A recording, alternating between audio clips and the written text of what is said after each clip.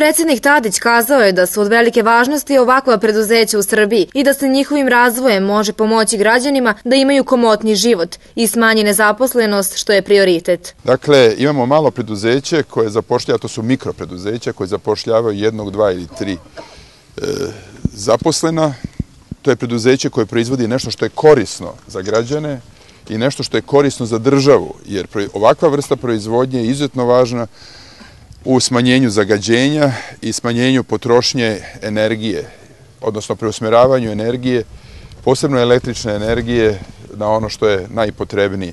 I s druge strane, smanjenje potrošnje energenata i na kraju ovakva proizvodnja i ugradnja termoizolacijanih stakala i e, prozora, vrata, isplati se za nekoliko godina. Mi smo juče doneli odluku kojom subvencionišemo ugradnju ovakve opreme, ne samo ovakve opreme, već i izolacijonih materijala u fasade, kao što su stirodur, stiropor, knin, gipsane ploče i drugih izolacijonih materijala, kako bi naše kuće i naša naselja, naša sela, kao selo Sena, Kučevo, pa na kraju i Beograd, izgledali baš kao što se to dešava u Evropskoj uniji. Mi idemo prema Evropskoj uniji kako bismo obezbedili taj standard života, taj kvalitet života za naše sunarodnike, za naše građane, ali istovremeno kako bismo obezbedili bolje pristup fondovima koje isto ima ta, ta ista Evropska unija, ali na kraju kako bismo obezbedili nova tržišta. Jer prodaje ovih proizvoda na tim tržištima je izuzetno važnja. A na kraju i vi uvozite odatle repromaterijal, ako sam dobro razumeo, pre svega iz Nemačke, Austrije, iz Grčke, pa iz Bugarske, to su sve zemlje koje su u Evropskoj uniji. Tako da na taj način imamo jedan zatvoreni krug koji treba svima donese korist. Vlasni preduzeća za proizvodnju aluminijumske i PVC stolarije šampion Goran Mitrović istakao je da je usled krize morao da smanji broj zaposlenih, pa ovo mikropreduzeće sada broji samo dvojicu zaposlenih. On je dodao da se nada da će država pomoći kako bi u budućnosti ova firma postala razvijenija. Kučevo spada u red najnerazvijenijih opština u Srbiji. Imamo puno ovakvih malih firmi.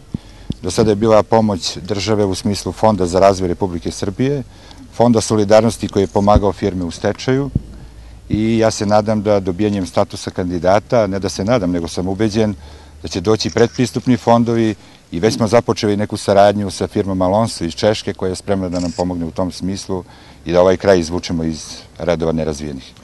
Radoslav Milovanović, poslanik Demokratske stranke u Republičkom parlamentu, kazao je da dobijanjem statusa kandidata otvorit će se fondovi kojima će se pomoći malim i srednjim preduzećima u Srbiji. I radimo od 2002. godine aluminijumski PVC stolariju sa ugradnjom. E, radimo to znači, pretežno u našem graničarskom okrugu, ali po potrebi idemo i van naše opštine. Susrećemo se za dosta problema, što kaže kao i svi i građani ove zemlje i, i mnogo bi nam značilo znači, da kad bi bile više otvorene granice, onda bi bilo, više bismo dalje, znači kaže, u, u, donali bismo sveže devize u, u zemlju. Kao što i sad mi unosimo znači, od ovih naših gastarbajtera e, devize znači, u, u zemlji. Pomogla bi nam neka, neka razvojna banka, znači da dođe do, ali do malih firmi, ne do velikih kao što jer male firme nemaju te, te mogućnosti da dođe do, do tih para, znači da bude pristupačnije za, za te male privrednike. Jesmo, jesmo i mi smo imali, sad radimo sa dvojicom zaposlenih i ja, znači u proizvodnji, a imali smo više zaposlenika, ali zbog krize morali smo da mogli smo da proširimo to samo uz nekih, nekih pomoć države. Znači ovako sami teško da ćemo moći ili po neko poboljšanje u državi.